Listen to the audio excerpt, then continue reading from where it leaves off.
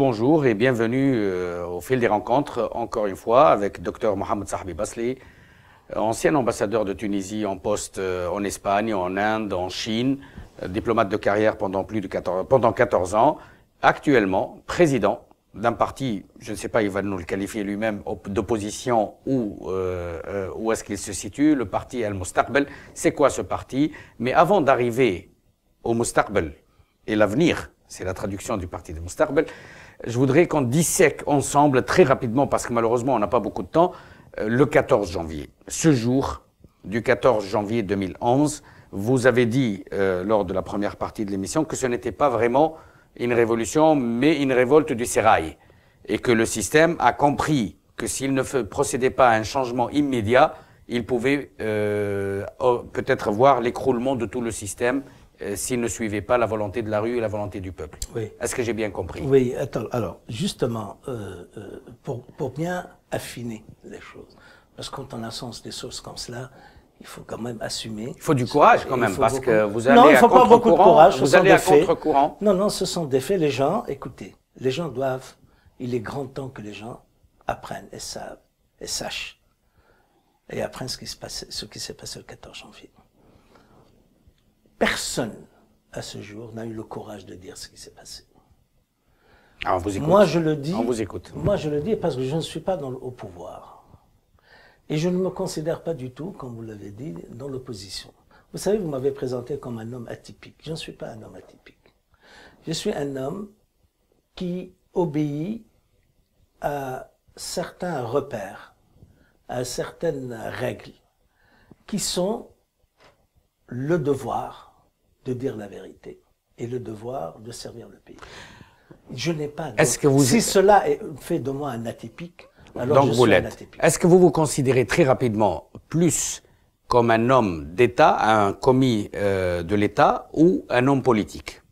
Écoutez, qu'est-ce qui vous suit le plus? Jusqu'au 14 janvier 2011, j'étais le commis de l'État parce que je n'ai pas choisi parce qu'on m'a appelé. Parce que le système vous a choisi. Le système a choisi, il m'a nommé dans des postes politiques et personne ne faisait de la politique. On était des technocrates et vous avez dit tout à l'heure, Ben Ali avait travaillé avec beaucoup de gens de la gauche, ou de sensibilité de gauche, et les meilleurs d'entre eux. D'où la complicité historique de la gauche avec le régime de Ben Ali, qu'on escamote aujourd'hui. C'est pas une complicité. Il a une, association, une association, une association. Mohamed Charf a travaillé avec lui. Après, il s'en est pas. Oui, mais en connaissance de cause. Il, il, savait avec, qui il travaillait. Euh, et d'autres personnes. Moi, ce qui me gêne, si vous permettez, docteur Basli, c'est euh, euh, ce burnous d'honorabilité.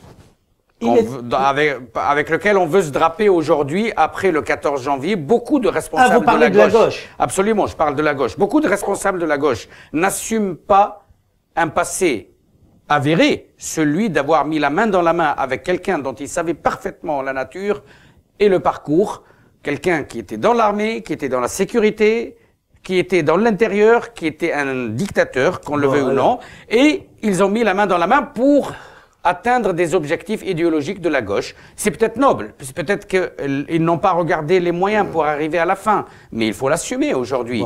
Donc la gauche, pour moi, et, c'est une question que je vous pose, a autant de responsabilités, la gauche tunisienne a autant de responsabilités dans ces 23 années de Ben Ali que Ben Ali lui-même. Que pensez-vous de cette euh, théorie? Alors, n'oubliez d'abord, dans la gauche, il y a énormément de militants, de vrais militants de la gauche, et la gauche a été créée avant même le parti du Destour.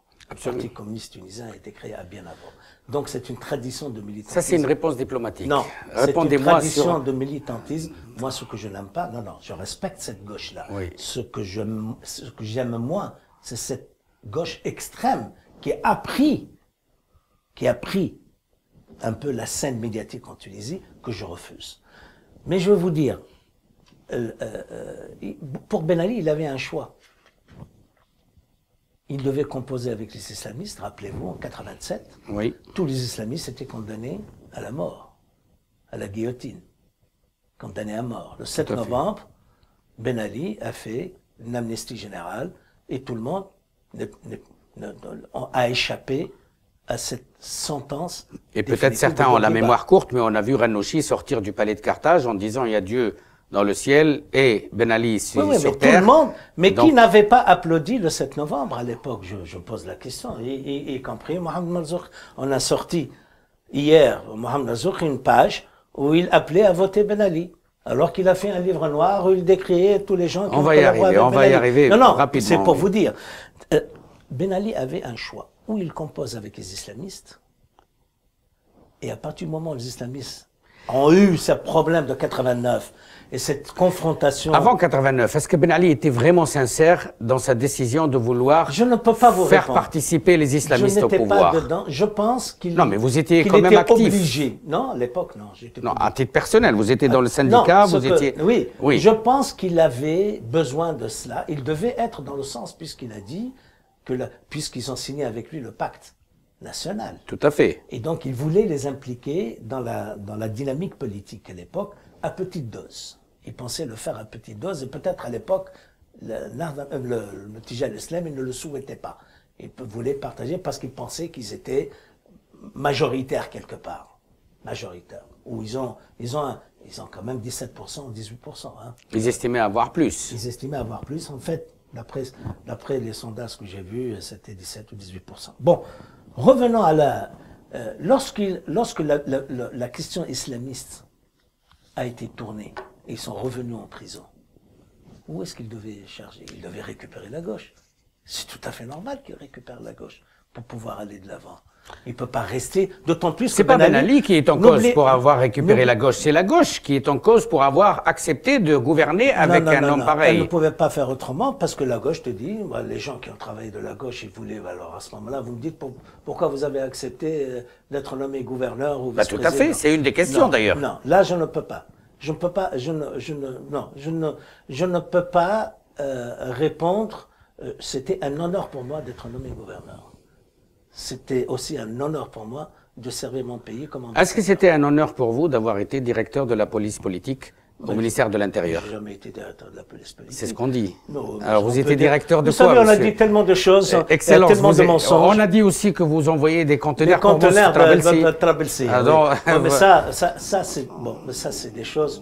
Vous êtes fait un petit matelas ou non malheureusement, j'aurais dû le faire. En fait, je regrette ne pas l'avoir fait. Non, non, je rigole. Euh, passons aux je vais choses sérieuses, oui. Sur, sur les, sur le, la direction générale des affaires politiques, c'est pas la police politique. Mais direction générale des affaires politiques au ministère de l'Intérieur. Au ministère de l'Intérieur, vous savez ce que c'est? Vous savez, il- il faut, je vous renvoie au livre de, de Sarkozy Oui. pour préparer sa campagne électorale de président de la République. Il disait J'ai appris que c'est à la place Beauvau qu'on défendait le mieux les libertés. Il a parfaitement raison. C'est là où j'ai appris que effectivement, s'il y a un ministère qui défend les libertés individuelles et collectives, c'est bien le ministère de l'Intérieur, contrairement à ce que les gens pensent. D'ailleurs, c'est pas parce que vous êtes mon invité, mais certains membres de l'opposition de l'époque Oui. reconnaissent euh, votre talent de conciliation mais et de médiation. jusqu'à aujourd'hui, mais j'étais l'interface entre ce système très opaque Très fermé. et l'opposition. Oui. À toute l'opposition, je recevais toute l'opposition et je réglais le problème de l'opposition. Comme pour euh, Monsef Marzouki, par le exemple. Mons Malzouk ou pour- Est-ce qu'on ou- peut ou citer une anecdote, justement? Non, mais l'anecdote n'est pas très glorieuse pour lui. hein, je vous Mais dis la C'est vérité, c'est mais l'histoire, c'est l'histoire, je suis désolé. Bon, écoutez, d'abord, Mons est un collègue. Oui, et, on est, et on est en médecine communautaire. Et euh, je l'associe à tous mes congrès, mes travaux, etc. Est un homme particulièrement intelligent et brillant dans son domaine.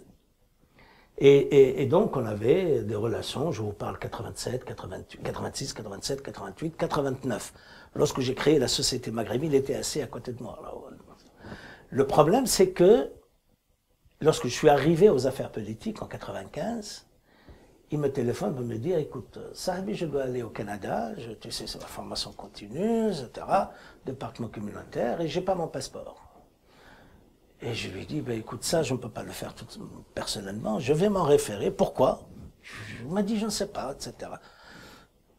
Alors, euh, et il me dit, j'ai un livre qui est, euh, qui n'a pas eu le dépôt légal, qui est encore euh, sous, Bloqué. sous embargo Oui. dans vos, dans vos départements, effectivement.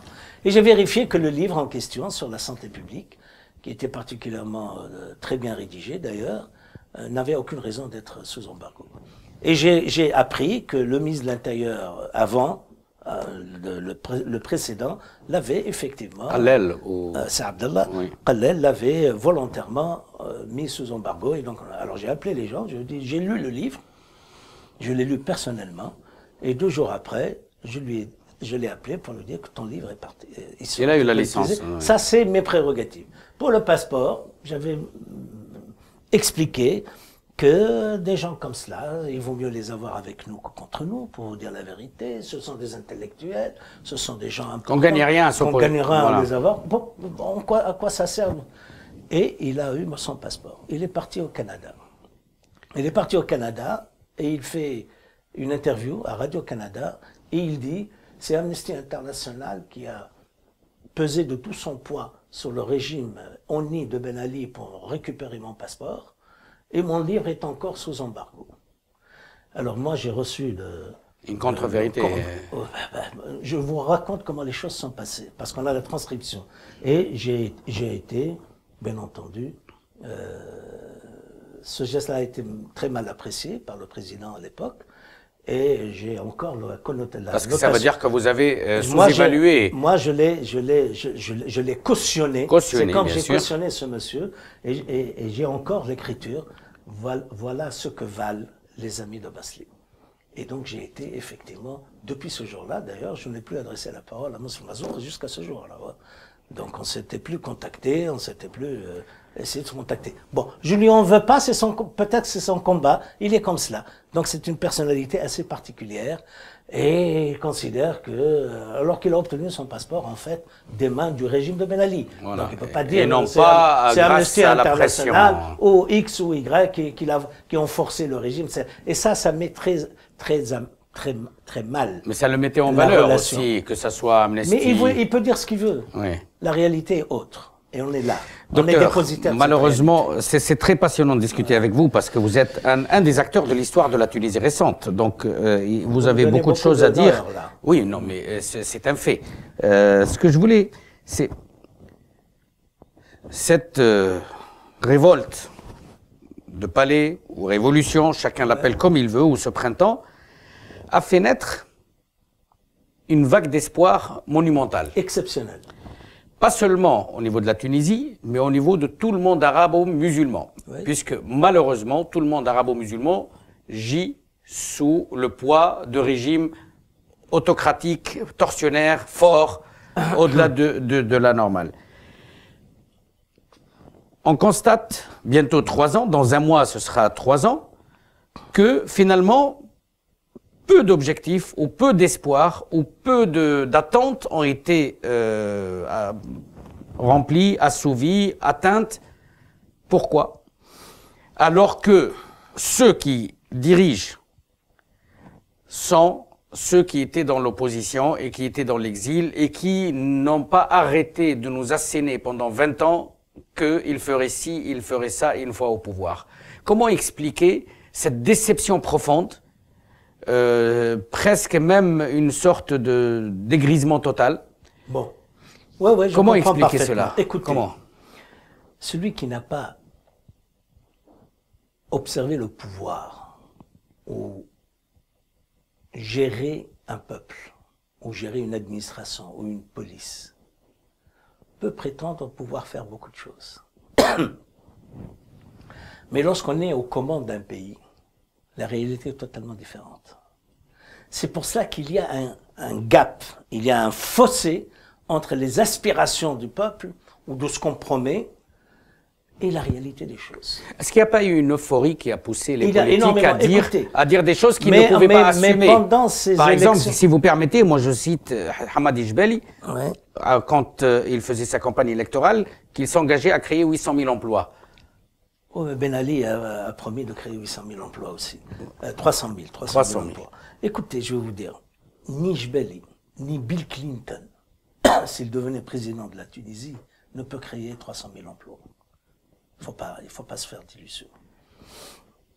C'est pas une question de gouvernement, c'est même pas une question d'homme. C'est cette société. Vous avez parlé de ce, peuple arabe qui a toujours eu des dictatures. Ça fait partie de notre culture, c'est au fait. D'obéir à une dictature. C'est triste d'entendre ça. Ces sociétés arabo-musulmanes, depuis que l'islam est islam, ont été gérées par des régimes autocratiques. Il n'y a pas une, je parle arabe, parce que ça n'a rien à voir avec l'islam. C'est culturel. Parce que vous venez de dire depuis que l'islam est islam. Que depuis l'islam dans le monde arabe. Pourquoi il n'a pas les mêmes effets en Asie comme la Malaisie ou l'Indonésie ou ailleurs Parce qu'ils ne sont pas arabes. Justement. Donc ce n'est pas lié à l'islam, c'est lié à l'esprit tribal de chef. C'est ce que je vous dis. Donc c'est la composante culturelle de l'islam, parce que l'islam, c'est une religion, c'est une culture. C'est ça la grande incompréhension de tout le monde, incompréhension de, du monde entier de l'islam. C'est que l'islam n'est pas une religion uniquement. L'islam est un comportement, l'islam est une civilisation, l'islam est une culture. Et pour faire la part entre ce qui est culturel de ce qui est religieux, dogmatique, c'est très difficile. Les Asiatiques ont pris ce qui est religieux dans l'islam. Ils ont gardé leurs coutumes et leur culture. Ils se portent très très bien. Les Africains aussi. Les Africains aussi. Le monde arabe. Mais, mais je vous dis, mais l'islam est né dans la communauté arabe. Il n'est pas né en Malaisie, il n'est pas né en Chine, l'islam. Il est dans le désert d'Arabie. Il a été vers l'est, vers l'ouest. Tout ce qui est J'aimerais bien débattre avec vous de cette, euh, ce débat philosophique sur l'islam. Mais, mais, ça, c'est politique, c'est le côté politique de l'islam. D'accord, mais, moi, je... voudrais qu'on revienne à des cas précis que euh, le commun des mortels en Tunisie qui nous regarde. je vous dis, pourquoi, pas pourquoi l'échec Parce qu'aujourd'hui, on est bien obligé de constater qu'il y a un échec sur tous les plans. Écoutez, ce n'est pas un échec total. Il y a eu des acquis depuis le 14 janvier en Tunisie. C'est de parler librement, c'est tout. C'est un des seuls et rares acquis. C'est énorme. Et je ne veux pas perdre cet acquis. Le problème, c'est qu'on est en voie de perdre cet acquis. Mais on est en droit d'attendre plus. Mais bien sûr, mais du temps de Ben Ali. Est-ce qu'il y a des hommes mais politiques du temps de Ben Ali, on attendait plus. On disait on pouvait mieux faire. Est-ce, est-ce que Moi, je pensais que le peuple tunisien était à même d'être un peuple démocrate du temps de Ben Ali. J'étais contre docteur, le docteur, fait docteur Basquiat, est-ce que cette désillusion du peuple n'est pas en fait le fruit de la mauvaise évaluation des politiques, de leur capacité à réaliser quelque chose? Non. Non. Parce qu'ils ont promis plus qu'ils ne peuvent promettre, euh, ne peuvent réaliser. Ça, c'est l'erreur, je vous ai dit, j'ai pas terminé, c'est l'erreur de cette campagne électorale inutile pour créer l'Assemblée constituante. Vous savez très bien que j'étais contre l'Assemblée constituante. Ça, c'est une erreur. C'est un piège. C'est un piège. On était tombé dedans, et j'avoue que c'est la gauche qui nous a entrés. Bien évidemment. C'est pas le. Et ça, je le dis, je sais de quoi je parle. C'est la gauche qui nous a amenés. Pourquoi? Parce que la gauche pensait pouvoir barrer la route. Mais bien sûr. À un Nahda et aux islamistes. pouvoir, elle, faire. Euh, elle pensait que le peuple tunisien était comme elle. Acquis. Était comme elle, réfléchissait comme elle, s'était trompée. Bon. Le problème, maintenant je reviens, c'est toute cette campagne électorale, etc., ces, promesses électorales ne peuvent pas tenir. Mais je reviens à, à la philosophie de la chose. Ce qui s'est passé le 14 janvier, est énorme. Vous m'avez dit le droit de parler. Vous savez que le peuple tunisien a sacrifié ses droits individuels pendant 60 ans pour pouvoir manger, pour pouvoir dormir en sécurité, pour pouvoir aller à l'école, pour se soigner, pour trouver un travail, se marier, construire sa maison. Voici le Tunisien. Il n'y a pas autre chose. Il n'y a rien d'autre. Le, le Tunisien ne fait rien d'autre que cela. C'est ça son itinéraire, jusqu'à la mort. Ne faisait ne faisait que cela. Maintenant, il est... Dans l'excès inverse. non, maintenant il a obtenu ce, ce, qu'il a sacrifié pendant 60 ans et il pensait parfaire son développement. La démocratie est un instrument pour parfaire le développement économique et pour qu'il soit durable. Où nous en sommes dans le développement économique. Et, et ce qui me dérange beaucoup, c'est qu'en Tunisie aujourd'hui, on veut sacrifier cette liberté pour revenir à la sécurité. Qui ont Qui? Le peuple. Parce qu'il est désespéré. Bien sûr. C'est ça ce qui me fait peur. Une question. Est-ce qu'il est désespéré par la volonté manifeste d'une force politique occulte ou est-ce que c'est la succession d'événements incontrôlés par les politiques en place qui a fait que le euh, peuple aujourd'hui souhaite revenir même à un régime fort avec une garantie de sécurité et d'alimentaire plutôt que de vivre la liberté dans la faim C'est offert. C'est le résultat d'une succession d'erreurs de gens qui ont pris le pouvoir et qui ne savent pas ce que ça veut dire le pouvoir et parce que... Vous, euh, euh, si vous permettez, le régime d'avant n'est pas tombé dans le chaudron du pouvoir non plus. Il a dû apprendre. Non. Après l'indépendance. Non, non. Il a pris les meilleurs. Voilà la différence. Ben, vous, vous mettez le... Lorsque Ben Ali est arrivé au pouvoir, il s'est débarrassé des bourguibistes. Oui. Mais il a pris les seconds couteaux. Ceux qui étaient directeurs généraux. Nous, on a supprimé tous les directeurs généraux de l'administration tunisienne. Qui, tous les technos. Aujourd'hui, vous voulez Tunisiens, dire oui, oui. les gouvernements en place après les élections du 23 octobre, on a vidé l'administration. Je vais être plus clair et sans détour. Est-ce que la situation Mais actuelle... Terminer. Laisse-moi terminer. Oui. L'erreur, c'est qu'on a voulu rompre avec l'ancien régime. Voilà l'erreur de la Tunisie. En pensant que les anciens c'était des malfrats, c'était des malhonnêtes. Quand vous dites, ils envoient des conteneurs, ils ne travaillent pas, un ambassadeur ne travaille pas, il envoie des conteneurs. Et il reçoit Leila et compagnie. Exactement. C'est ça l'erreur. Mais c'est un mensonge. Ils savent que c'est un mensonge. Ceux qui ont dit cela savent que c'est un Mais mensonge. ils ont conforté le peuple dans cette dans Mais ce mensonge. Mais le peuple qu'en rien, c'est un ignorant. Le peuple ne connaît rien. Il croit ce que les gens lui disent. Maintenant, il s'est rendu compte qu'il y a mensonge sur la question. Et maintenant, il se dit, ah ben non, ben j'en veux plus de ces gens-là. C'est pour ça qu'il n'a plus confiance aux politiques. Pourquoi on n'a plus confiance aux politiques? Toute tendance confondue. Mais ces gens-là, si vous permettez, au-delà de ceux du peuple. au-delà de ceux qui gouvernent aujourd'hui, si vous permettez. Oui. Et euh, il y a aussi la classe opposante, l'opposition, actuelle, qui aussi n'aide pas non plus. L'opposition dans un système, si vous permettez, dans un système démocratique classique normal, l'opposition peut avoir un avis critique, mais peut faire des propositions. Aujourd'hui, ce que nous entendons sur toutes les chaînes de télé, un Hamma Hammami, un Samir Battayib, vociférer, même un Baji Qaïd Sepsi, personne n'assume une responsabilité dans l'intérêt du pays. Nous ne sommes pas dans les conditions que vous décrivez. Nous ne sommes pas dans un système démocratique aujourd'hui. Pas du tout. C'est là où je voulais en venir. dans quel système sommes-nous aujourd'hui Hybride.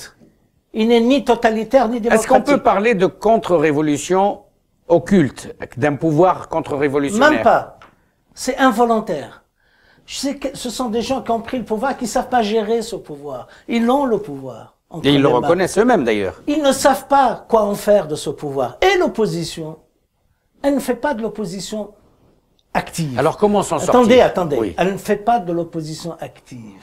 Vous elle fait de l'opposition destructive. Vous savez pourquoi, elle, ne, peut pas, elle, elle ne peut pas faire cela?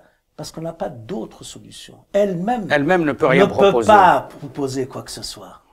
Parce qu'il y a une déliquescence de l'État, parce qu'il n'y a plus d'autorité, parce que le, citoyen n'a plus peur du policier, parce qu'on te vole, parce qu'on brûle le feu rouge, parce qu'on... Est-ce que vous ne préférez pas, le mot respect de l'autorité plutôt que peur du policier?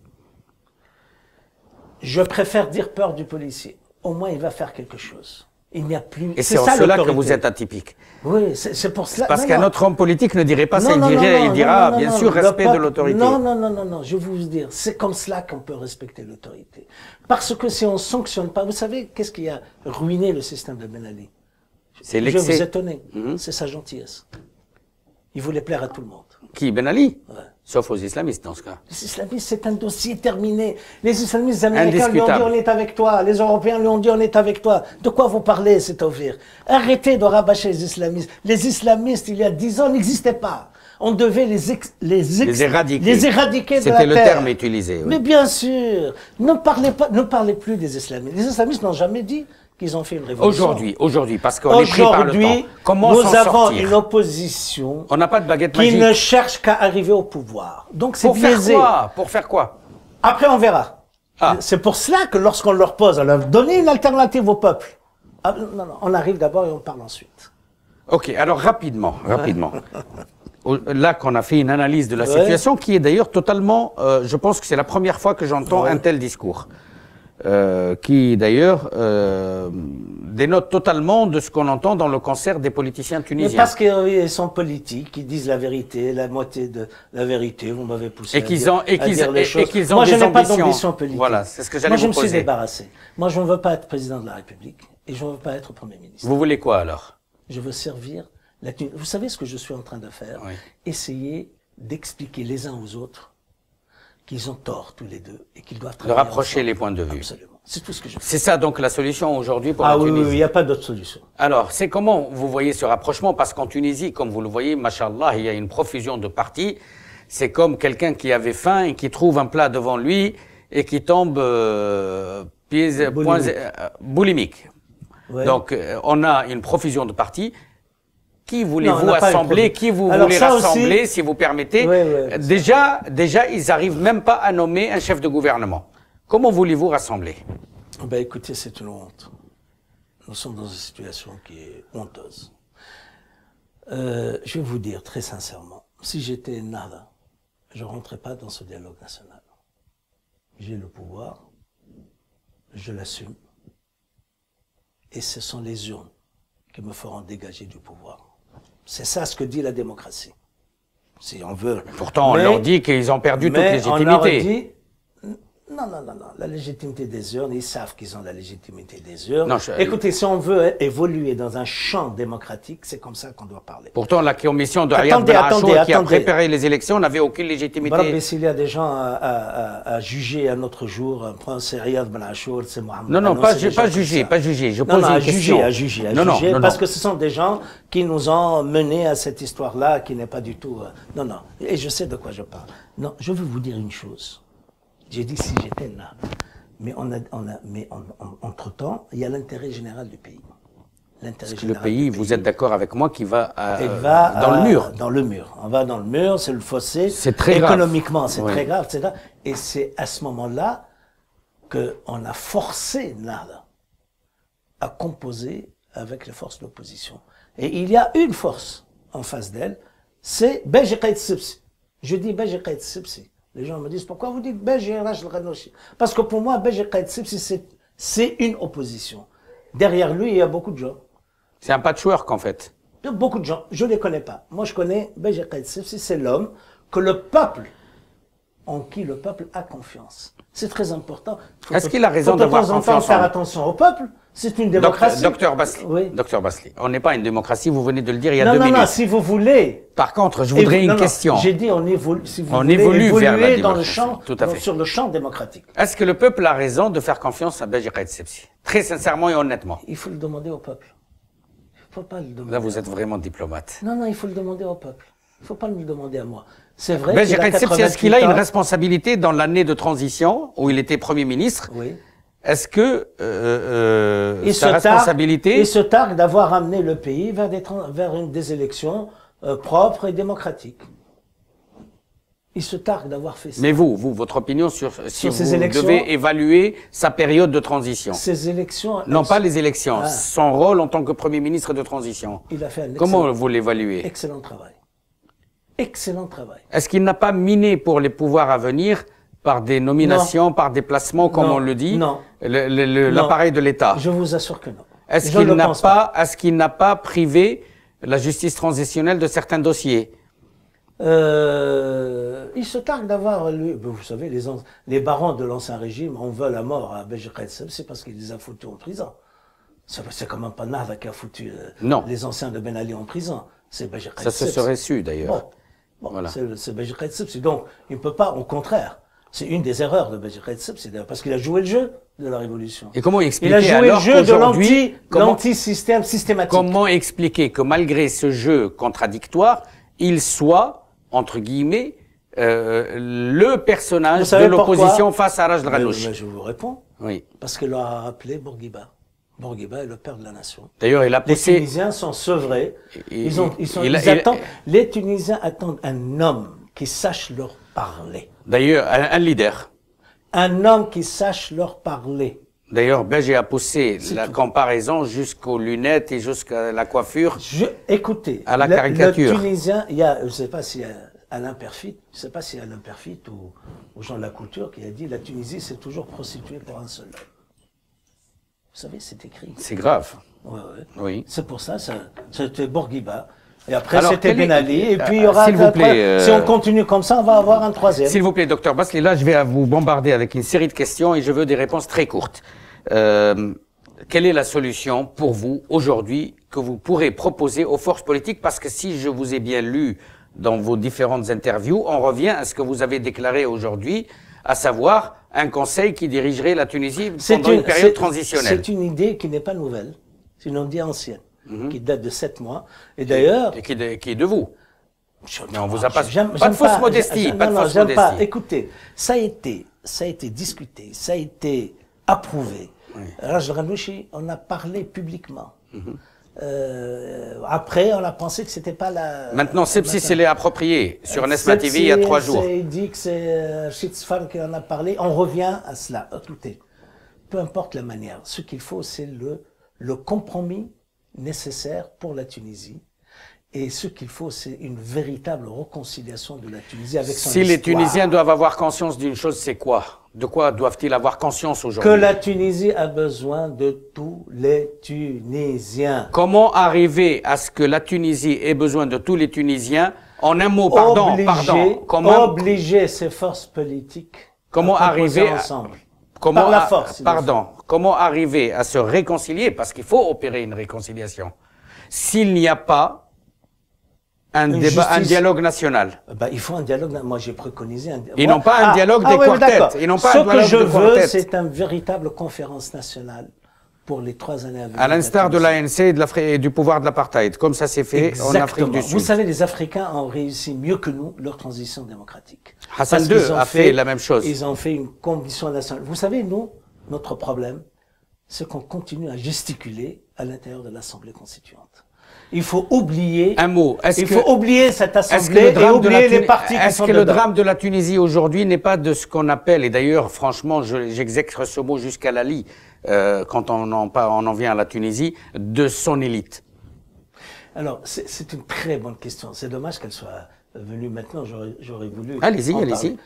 Vous savez, le problème de la Tunisie, c'est son élite. Et l'élite, il faut, il faut faire confiance à l'élite tunisienne. Vous savez, je vais vous dire, individuellement, nous sommes exceptionnels, les Tunisiens. Collectivement Donc, collectivement, on est nuls. Et c'est- le problème, c'est que effectivement, nous avons une. Vous savez, Bourguiba a fait de l'école tunisienne une référence. Vous savez, je suis de l'école de Bourguiba.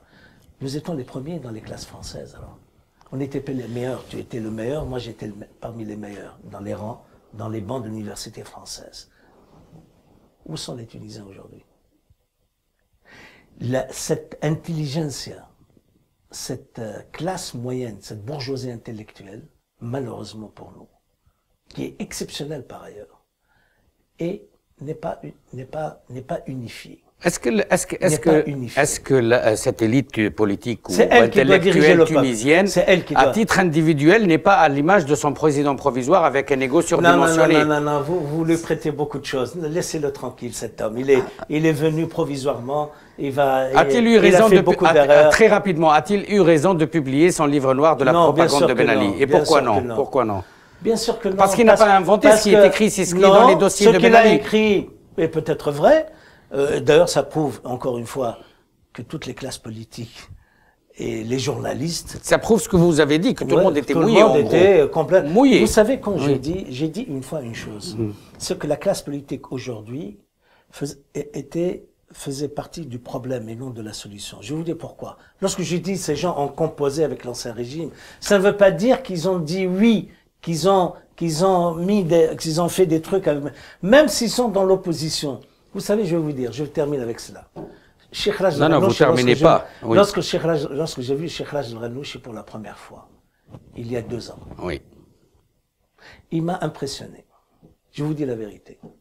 Par sa connaissance des choses, par Comment sa vision. rattraper ce temps perdu où les gens ne se connaissent pas et se préjugent Parce qu'on n'a pas été, parce que des gens n'ont pas été voir Raj Ranouchi. Et Raj Ranouchi n'a pas été voir les autres. Le Tout problème, c'est que maintenant, il faut que tout le monde, si on, si on, si on, si on demande, si on se rend visite, si on discute, beaucoup, beaucoup d'obstacles vont. Je vais vous dire, qu'est-ce qu'il m'a dit? Je lui, dis, je lui ai parlé déjà il y a deux ans de la réconciliation nationale, c'est offert. Oublie cette histoire, ferme le dossier. Comme, Quelle a été sa réaction? Quelle a été sa réaction? Comme, comme euh, Mandela. Quelle a été sa réaction? Vous savez ce qu'il m'a dit? Oui. Il m'a dit les blessures ne se sont pas refermées. Je lui ai dit c'est encore là.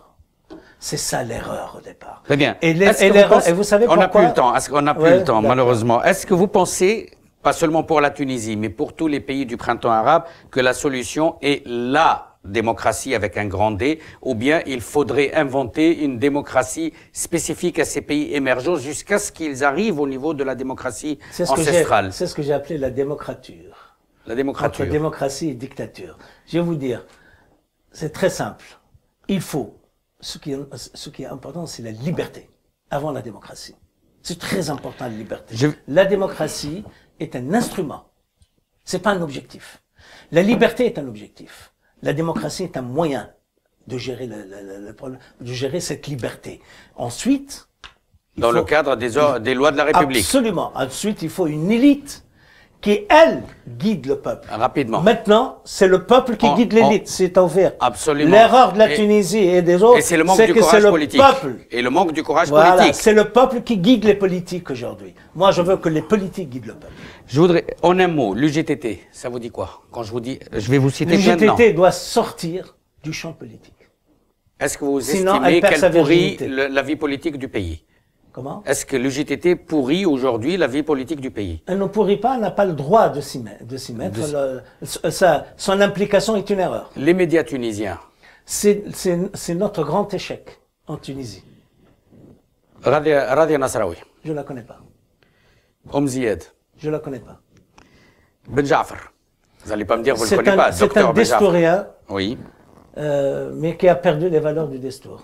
Hamd Karoui c'est un historien, mais je ne pense pas qu'il euh, puisse euh, euh, qu'il puisse cadrer avec ce qui se passe aujourd'hui. Marzouki. C'est déjà le passé pour moi. Nourdin Hachad.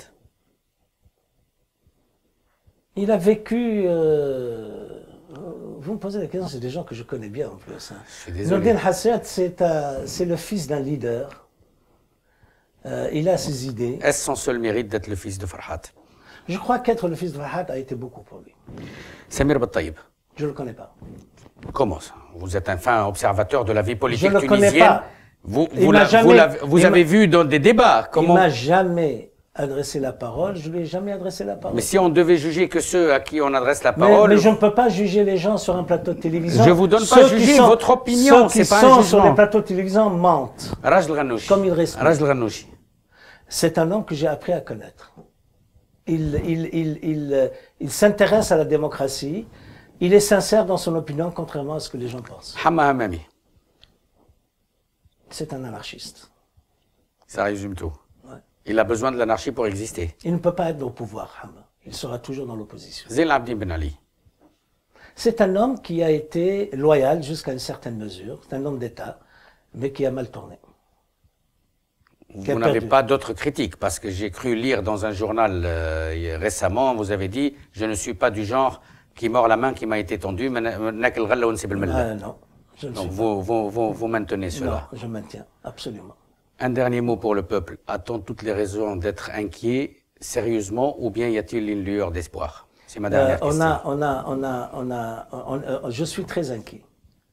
Je suis très inquiet si on n'arrive pas à, dépasser cette étape politique de manière pacifique, euh, le peuple tunisien deviendra un autre peuple. Donc on ne peut pas croire dans ce qu'on a appelé et qu'on continue à appeler le génie tunisien qui pourra sauver à une extrémiste la Tunisie. Non, parce que, parce que, comme vous l'avez dit tout à l'heure, la classe intellectuelle tunisienne a baissé les bras. Et on a peur. Nous avons des échéances électorales les gens se positionnent par rapport aux échéances. Donc ce sont des intérêts partisans étroits. Absolument.